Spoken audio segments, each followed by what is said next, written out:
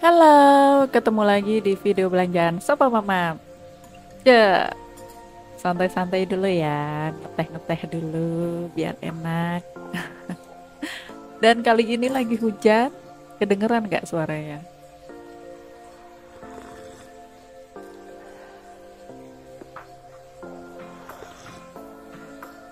Mantap banget tehnya, minum anget-anget waktu hujan.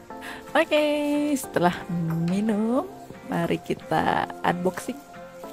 Sebenarnya ini adalah video lama, tapi belum sempat mama edit karena HP-nya waktu itu kecemplung dalam air. Nah, jadi baru kali ini mama buka-buka apa drive kok nemu oh ya ada video yang belum mama edit nah ini adalah belanjaan mama yang hmm, mama suka banget barangnya karena ini uh, sangat bermanfaat buat anak mama dan suami mama.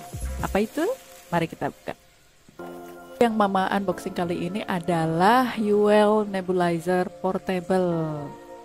Nah karena anak mama gak asma sih tapi sering alergi dan batuk-batuk dan kadang agak sesek jadinya butuh nebulizer ini untuk memperlancar pernafasannya. Sebelumnya mama udah beli nebulizer yang agak gede kayak gitu. Cuman harus dicolokin ke listrik kan dan agak riwah juga masang-masangnya. Terus mama nemu produk ini uh, bentuknya kecil dan bisa dipakai sambil tiduran miring. Jadi mama suka banget sama produk ini oke mari kita coba buka seperti apa produknya nah ini adalah kartu garansinya. Jadi nanti kalau terjadi sesuatu nah pakai kartu garansinya. Klaimnya pakai ini. Kita juga dapat tas yang nantinya bakal berisi nebulizernya. Ini yang paling mama suka dari nebulizer merek ini karena udah include tasnya.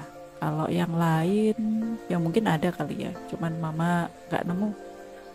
Oke, ini dia penampakan dalamnya.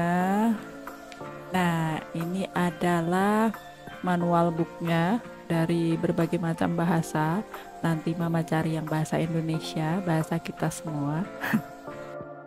nah, di sini kita dijelaskan uh, perangkatnya ada apa aja dan cara pemasangannya seperti apa, cara menggunakannya juga seperti apa. Oke, nanti aja ya. Kita lihat yang lainnya dulu. Nah, ini apa ya?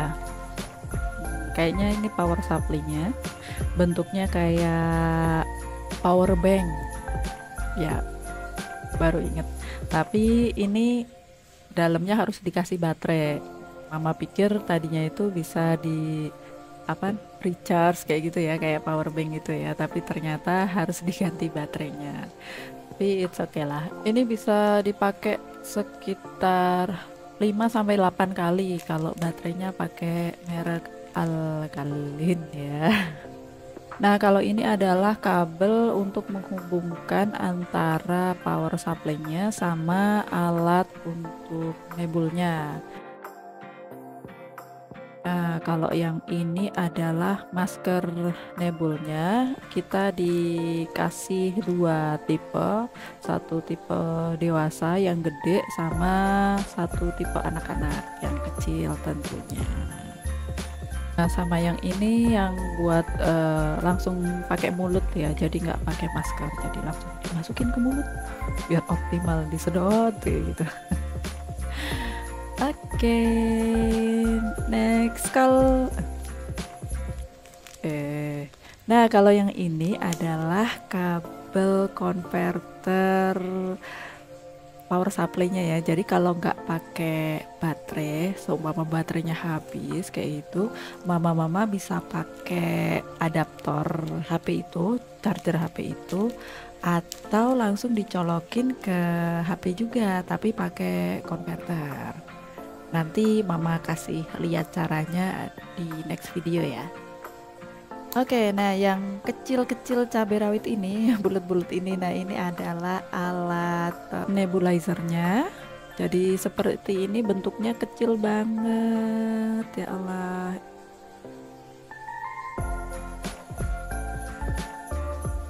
ini nanti kabelnya dicolokin ke situ buat inputnya dan yang di atas itu untuk masukin cairan nebulizernya atau mama sih biasanya pakai pentolin ada yang pakai NaCl ya tergantung kebutuhan. Oke mama udah selesai unboxingnya. Mari kita susun biar rapi. Biar mama-mama semua tahu apa sih isi di dalamnya itu. Biar lebih jelas ya nah ini ada satu yang ketinggalan dan ini adalah tali maskernya ya. Nah dia bahannya dari karet atau silikon ya ini. Kayaknya silikon. Nah ini nanti dimasukkan ke lubang-lubang itu. Nah, kita dikasih dua pasang ya, ya karena memang maskernya ada dua ya, yang dewasa dan yang anak-anak. Begitu. Oke, udah kebuka semua. Untuk cara pemasangannya bakal Mama share di next video ya. Sementara sampai sini dulu ya. Thank you udah nonton video Mama dari awal dari akhir. Eh, dari awal sampai akhir. Jangan lupa klik like, subscribe, dan aktifkan lonceng biar nggak ketinggalan video terbaru dari Sopa Mama. Thank you and bye-bye.